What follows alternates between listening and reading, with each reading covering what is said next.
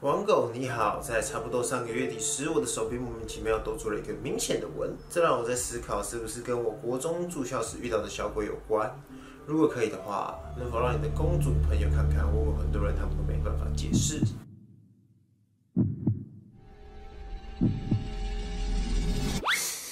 问过了，但是也没有一个解释。看看有没有网友有类似的经验，或者是有人知道是什么东西的，或许可以帮他解答一下。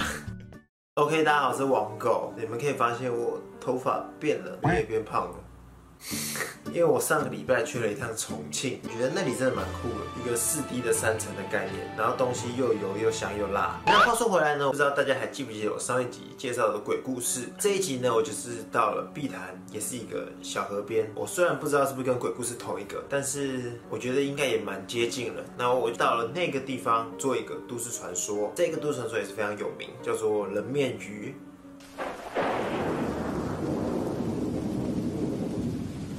二十多年前，有一群人到了溪边钓鱼。黄昏时，钓上一尾大约四公斤的乌锅鱼。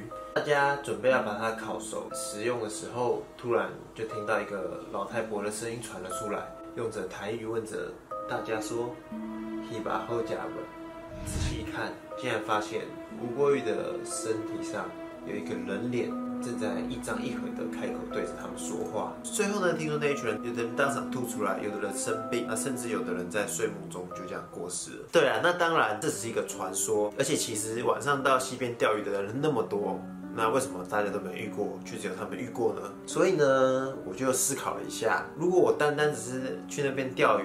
那应该也是不会发生什么事情的。我想到了我上一次《鬼影实录》的连续宝贝七次那么神准的一个关键点，或许可能就是因为我套了一堆的纸钱吧。这一集我就是要拿着一堆纸钱，用纸钱去烤鱼，或许这样子比较会有一些几率遇到东西吧。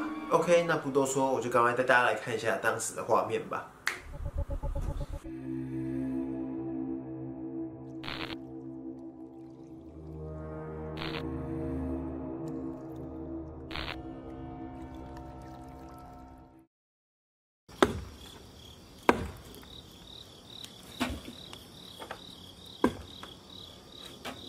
这个就是希望好兄弟进来这条鱼里面，看会发生什么事。我是觉得应该是不会有人说什么提拔后加不会，这个太难了，不是每个人都遇得到这种事情。你也没开始跳？刚跳一次。右眼跳？好像是洗。对啊。啊？右眼是洗洗洗呀。准备要烤鱼的这个过程呢琳达说她的眼皮一直跳。我们都知道眼皮跳其实两种说法，那有一种说法呢是女生的右上眼皮一直跳的话，代表你的朋友会遇到事情。另外一种说法呢就是比较医学的，有时候你睡眠不足或者是有太强的光照到你的眼睛，都非常有可能让你眼皮会跳动的。所以这个点呢，可以说它是一个征兆，但其实或许也不代表什么。就让我们继续看下去。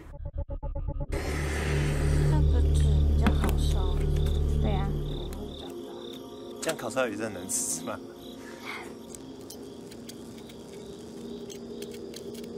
有有有好。那这个可以。他不想一个人在后面，那个灯透一点。你不敢躲在暗处。这样。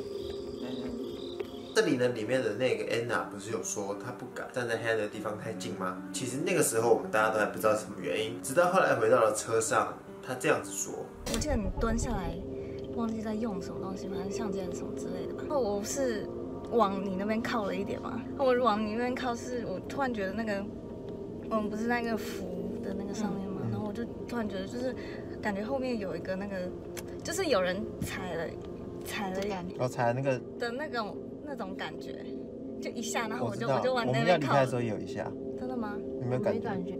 我正要过去对面的时候，我右边。你们都在左边，我右边，我要离开的时候。对，你们刚刚有发现到吗？我再重播一次。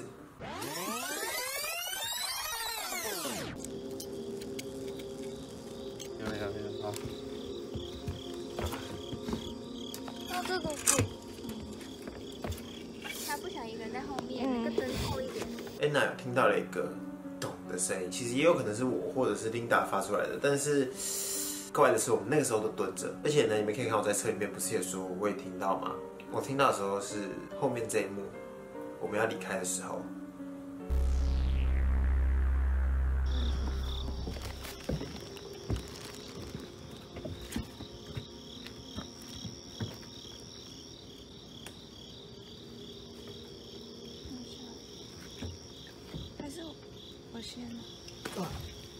这一幕的事已经结束，我们准备要收一收离开的时候，我迟疑了一下。那他们两个可能在想说，为什么不走，对不对？其实那个时候我就是有在旁边听到了，也是懂一声。我那个时候也没有讲出来，因为我觉得不需要讲，有录到就自然就会录到，没录到就算了。那没想到回到车上，才又听到他讲说他有听到，我才把他们联想在一起。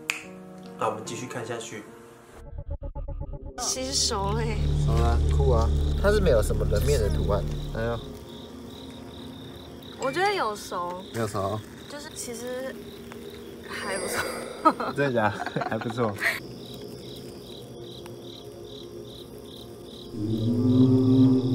你觉得有差吗？没有吧你？看他眼睛，眼睛，我来看这里，你不要这样。你你过来看，你过来看，你看他这一只眼睛，他这一只眼睛，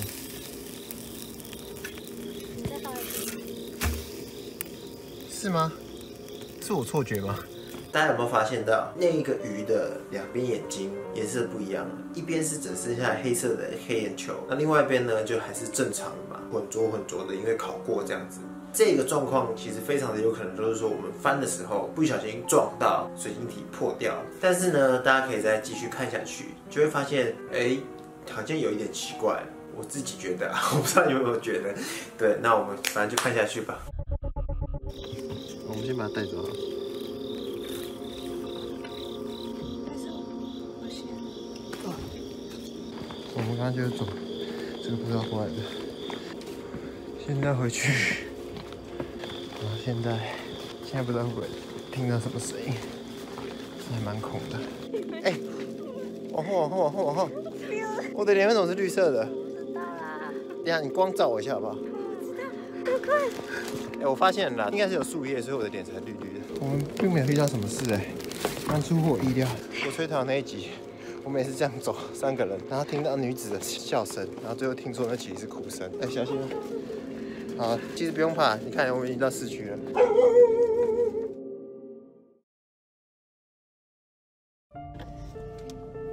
你该不会想喝吧？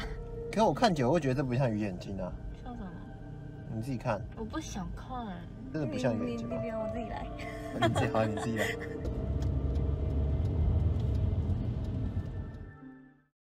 对，大家知道我们在吵什么吗？就是那个时候我们回到车上，有一瓶水，我准备要开那瓶水的时候，我看到里面有一个东西黑黑的，我就在想说，他们有喝过那个水，可能只是有什么脏东西飞进去啊，或者是干嘛的。结果我就问他们嘛，那但是他们又说他们也不知道，所以我们那个时候就在一直推，一定是你弄的啊，一定是你弄的，然后最后大家都不信。后来我们就仔细的看了一下那个瓶子，哇塞，那瓶盖真的没有开过。有啦，有开。有没有？想拍你自己拍。可是这个黑黑的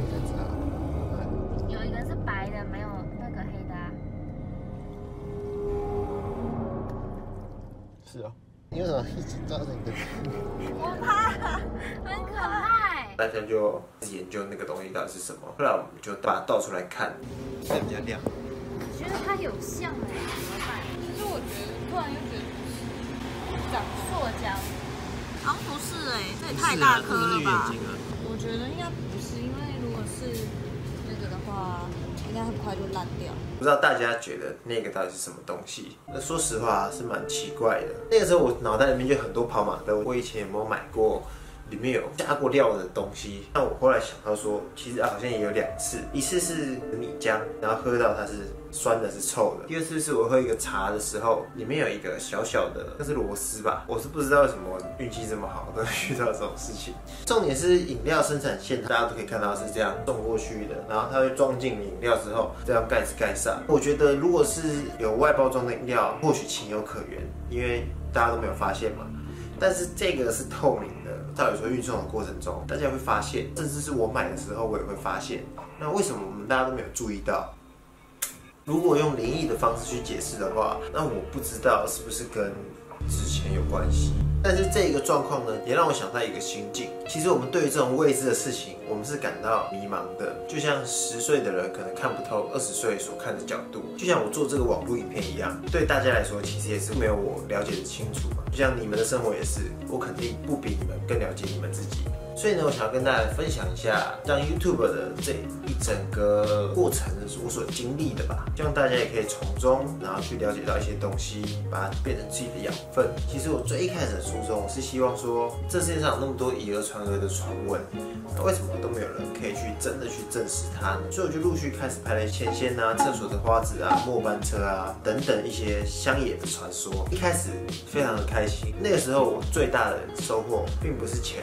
并不是点阅，也不是订阅，就单纯只是你们对我的喜爱，你们的评论，然后我看到了，觉得有帮助到你们，我就觉得，哇，我好像我好像又贡献了一点点什么。微博的力量，我也很开心这样子。但是到了后来呢，就一开始有人找上你，开始跟你说，哎，你做的这个都市传说啊，或许要把它弄得再恐怖一点，把它弄的是怎么一个系列，你才可以把它商业化，才可以走得更长远，你才有更多的钱。你一开始听到这个，你其实会觉得说，这就不是我所想要的啊。我想做的就只是我想要把我当下的想法，我想要把我想告诉大家的传达给大家，就这样子而已。但是当这些话一个人说，两个人说，三个人说，然后甚至到了很。很多人跟你说的时候，你就开始怀疑自己，你就开始觉得说，哎，是不是好像真的要照他们那样子说的去做，哎才可以拥有的更多，你才可以变得更厉害。然后甚至是到后来，因为认识了其他的 YouTuber，那那个时候就会跟他们聊，哎，我的内容应该要怎么样才能够更丰富，传达好的给大家，然后大家才会哎又从乐趣中学习，会有收获。反而另外那个人，他跟我讲的是说，他觉得标题要如何下的更耸动，才会爆，这个流量才会起来。